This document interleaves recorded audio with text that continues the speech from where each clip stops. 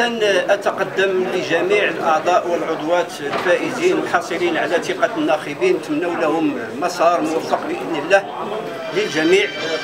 وباسم العدالة والتنمية أعلن بأنه بما أنه هذا هذا التحالف يعني كنعتبروا نفوسنا أننا غير معنيين به ولم يتم التشاور معنا من قبل وبالتالي أننا حنا باش ما غادي ما غادي نسفوش التجربة. نتمنوا لهم التوفيق.